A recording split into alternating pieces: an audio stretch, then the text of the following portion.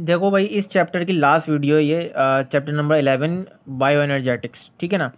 तो अब आ, इसके अंदर आपको पता है कि क्रैप साइकिल के बारे में मैं आपको बताऊँगा और मतलब इतना ज़्यादा कुछ डिटेल नहीं बताऊँगा। छोटी छोटी चीज़ें बताऊँगा कुछ इलेक्ट्रॉन ट्रांसपोर्ट चेन का बता दूँगा मैं आपको सही है ना? अब देखो इसका जो मतलब मैंने यहाँ पर लिखा हुआ है ना ये आप इसको अपनी वर्डिंग में लिखेंगे पेपर के अंदर। और मज़े की बात अगर आपको इसको थोड़ा सा और अच्छे से समझना है और जल्दी समझना है तो आप मेरी प्लेलिस्ट के अंदर जाएँ शॉर्ट ट्रिक्स के अंदर। शॉर्ट ट्रिक्स लिखें आप short tricks of M D cat biology उसके अंदर क्रैप साइकिल को मैंने एक जो है वो एक ट्रिक के तौर पे समझाया हुआ, जो कि आपको बहुत इजीली याद हो जाएगा, ठीक है? तो आप वहाँ से जो है वो एज ट्रिक के तौर पे आप इसको पूरा रट्टा मार सकते हैं।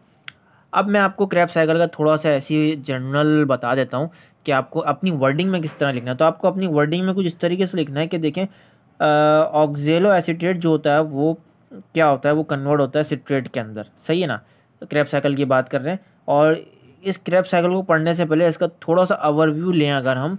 तो उसका ओवरव्यू तो कुछ इस तरीके से बनता है कि क्रैप साइकिल को हम जो है वो सिट्रिक एसिड साइकिल भी कहते हैं। ठीक है? और TCA भी साइकिल कहते हैं। यानी कि सिंपल आपने citric acid cycle T C A tricarboxylic acid ये आपने नाम सुने हुए लग रहे हैं। कहाँ सुने हुए लग रहे हैं? लाइट डिपेंडेंट रिएक्शन में, यानी कि लाइट रिएक्शंस के अंदर। तो सिंपल एज जेड जो कि लाइट रिएक्शंस मैंने आपको पढ़ाया था पिछली वीडियो में तो वो लाइट रिएक्शंस को हम जो है, वो क्या कहते हैं? जैसे होता है डार्क रिएक्शन होता है लाइट रिएक्शन उस लाइट रिएक्शन की बात कर रहा हूँ मैं, उसको जो है, वो हम आ, मतलब ये कहते थे इसका ना तीसरा दूसरा तीसरा नाम था citric acid cycle T cycle तो इसको क्रैप साइकिल भी हम कहते हैं। ठीक हो गया एक तो ये हो गया बात। अब इसका ओवरव्यू आपको पता है कि इसका थोड़ा सा और ओवरव्यू लेना चाहो तो क्रैप साइकिल के अंदर दो एटीपी मॉलिक्यूल्स जो होते हैं वो बनते हैं और यह जो इम्पोर्टेंट एम बनेंगे वो इस तरीके से बनेंगे कि क्रैप साइकिल के अंदर बताएँ कितने कितने क्या क्या चीज़ें बनेंगी। तो आप एज तो अब देखें यहाँ पर जो है क्रैप साइकिल के अंदर सी कार्बन डाइऑक्साइड चार बनेंगे।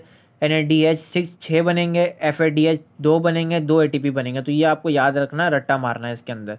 ठीक है ना? तो ये क्रैप साइकिल का प्रोसेस कुछ इस तरीके से ही होगा। अब आपको इसको अपनी वर्डिंग में किस तरह लिखेंगे? ठीक है ना? तो इसकी वर्डिंग में देखो आप लिखेंगे कि भाई ऑक्सिलियो एसिडेट जो है वो कन्वर्ट हो जाएगा सिट्रिक सिट्रेट के अंदर। ठीक है? और आ, ये जो है वो को एंजाइम ए कहलाता है बेसिकली ठीक है ना? को एंजाइम ए और को एंजाइम यहाँ पर क्या होगा? रिलीज़ हो रहा होगा जब जब ऑक्सीजेलो एसिटेट जो है वो सिट्रेट के अंदर कन्वर्ट होगा। ये आपको अपनी वर्डिंग में लिखना है बेसिकली ना क्या आप लिखेंगे, जब ये कन्वर्ट होगा सिट्रेट के अंदर तो कोएंजाइम ए जो होगा वो रिलीज़ हो जाएगा इस तरीके से। छोटे छोटे पॉइंट्स बना के लिख दें पूरे पूरे नंबर मिलेंगे आपको। बेस असल चीज़ ये, आपका प्रोसेस जहन में होना चाहिए। अब देखो यहाँ पर सिट्रेट जो है वो आइसो सिट्रेट के अंदर कन्वर्ट होगा, इस तरीके से आप लिखेंगे। और आइसो का मतलब यहाँ पर पूछा जाता है कि आइसो का मतलब क्या आइसो का मतलब सिंपल आइसोमर ठीक है आइसोमर्स आपको पता होना चाहिए कि same chemical formula but different structure formula यानी कि जिसका सेम केमिकल फार्मूला हो, लेकिन उसकी जो तरतीब होती है, जो स्ट्रक्चर्स होते हैं, वो डिफरेंट होते हैं तो उसको हम कहते हैं आइसोमर्स ठीक है ना? तो ये उस वाली आइसोमर्स की बात हो रही है आइसो एसिट्रेट अब आप लिखेंगे अपनी वर्डिंग में कि आइसोसिट्रेट जो है, वो कन्वर्ट होगा अल्फ़ा इसको कहते हैं अल्फ़ा अल्फ़ा कीटोग्लेट्रेट के अंदर सही है और यहाँ क्या होगा कार्बन डाइऑक्साइड जो होती है वो रिलीज़ हो रही होती है ठीक है? और एनएडी जो होता है वो एनएडीएच के अंदर जो होता है वो ट्रांसफ़र हो रहा होता है ठीक है? इस तरीके से लिखा हुआ ना कि एनएडी जो है वो एनएडी से आ, क्या बन रहा है? एनएडीएच बन रहा है ठीक है? तो ये सारी चीज़ें आपको लिखनी है अपनी वर्डिंग के अंदर इसलिए मैंने यहाँ पर छोटे छोटे चीज़ें लिखे हुए हैं। अब देखो यहाँ पर फिर क्या होगा यहाँ अल्फ़ा गेटोग्लिट्रेट जो होगा वो सोसिनल को एंजाइम के अंदर कन्वर्ट हो जाएगा और यहाँ फिर सेम चीज़ होगी एनएडी जो होगा वो एनएडीएच में चेंज हो रहा होगा, यानी कि ये बन रहा है। एनएडीएच बन रहा है किससे? इससे एन से बन रहा है ये। और यहाँ फिर कार्बन डाइऑक्साइड रिलीज़ हो रही होगी। ये अपनी छोटी छोटी वर्डिंग में लिखते रहो। अब देखो यहाँ पर फिर क्या होगा? यहाँ पर सुसिनाइल को एंजाइम जो होगा वो सुसिनेट के अंदर कन्वर्ट होगा और यहाँ ये जो पूरा हो रहा होगा, यहाँ क्या हो रहा होगा? यहाँ पर देखें। ये जो होगा वो जीटीपी का, ये जो है ना मतलब एटीपी से यहाँ पर क्या हो रहा होगा एटीपी फॉर्म हो रहा होगा। ए से एटीपी फॉर्म यहाँ पर हो रहा है इस जगह पे। ठीक है ना, यहाँ पर ये इस तरीके से लगा दो थोड़ा सा क्लियर हो जाएगा आपको आपको। ठीक है ना? तो ये चीज़ आपको फॉर्म हो रही है। अब देखो यहाँ पर सुसिनेट जो होगा सुसिनेट यहाँ पर क्या होगा, यहाँ पर F A D H two से एफ़ ए डी के अंदर जो है वो चेंज हो रहा होगा, यानी कि ये एफ़ ए डी फॉर्म हो रहा है इससे। ठीक है, ये अपनी वर्डिंग में लिखोगे अब सुसिनेट जो होगा फूमेरेट में कन्वर्ट होगा तो अब ये प्रोसेस होगा। और फुमेरेट जो होगा, जब मेलेट में कन्वर्ट होगा, और फिर मेलेट जो होगा, दोबारा से ऑक्सिल एसिड में कन्वर्ट होगा, और यहाँ पर फिर एन जो होगा, वो एन में जो है चेंज हो रहा होगा, यानी कि ये प्रोडक्ट बन रही होगी, और सेकेंडली ये रिपीट होता रहेगा। तो ये रिपीट कितनी बार होगा? बेसिकली ये प्रोसेस जो होता है, वो दो दो बार रिपीट होता है, ठीक है ना? और ये याद रखो कि ये दो दफ़ा रिपीट होगा, तब जाके ये पूरा एक प्रोसेस कहलाएगा। अब देखो यहाँ पर अगर मैं काउंट करूँ कि मैंने यहाँ पर बताया था कि यहाँ पर चार कार्बन डाइऑक्साइड जो होती हैं वो बन रही होती हैं। तो अब देखो यहाँ पर किस तरह बन रही है? देखो एक जो है वो यहाँ पर कार्बन डाइऑक्साइड यहाँ पर बन रही है, ठीक है? दूसरी यहाँ पर बन रही है। तो अब यहाँ पर वहाँ तो मैंने बताया था चार बन रही हैं तो ज़ाहिर सी बात है जब ये दो यहाँ बन रही हैं तो ये प्रोसेस दो दफ़ा होगा। तो यहाँ पर एक दफ़ा में दो बन गई, दूसरी दफ़ा में दो बन गए दो दो कितनी हो गई? चार हो गई, ठीक है ना? तो ये तो कॉन्सेप्ट आपका यहाँ पर क्लियर हो गया कि भैया चार कार्बन डाइऑक्साइड बन रही है क्रैप साइकिल के अंदर। आप देखो छः एन किस तरह बन रहे हैं। तो सबसे पहले यहाँ पर देख लें, एक ये बन गया एनएडीएच दूसरा ये बन गया, और तीसरा ये बन गया। सही है? तो एक प्रोसेस के अंदर जब तीन बन रहे हैं तो दूसरे प्रोसेस के अंदर भी तीन बनेंगे, तीन तीन छः हो गए। चलो भाई, ये भी टैली हो गया। अब यहाँ पर देखो, दो एफ़ बन रहे हैं और दो एटीपी बन रहे हैं। अच्छा भाई, यहाँ भी देख लो। देखो भाई एफ़ कहाँ है यहाँ पर? आ, ये देखो ये एफ़ डी से एफ़ डी से ये इस तरह से एरो है ना? ये आप इस तरीके से एरो लगाएँगे। एफ़ डी से जो है वो एफ़ ए और ये डी है। एफ़ डी से एफ़ डी एच बन रहा है यहाँ पर ठीक है एफ़ डी एच और क्योंकि यहाँ पर एक ही बार क्योंकि दो दफ़ा बन रहा है तो यहाँ पर ये एक ही दफ़ा बनेगा यहाँ पर। तो यहाँ पर एक प्रोसेस में एक दफ़ा दूसरी प्रोसेस में दूसरी दफ़ा एक और एक कितने होते हैं? दो होते हैं। तो सिंपल ये भी यहाँ पर टैली हो गया।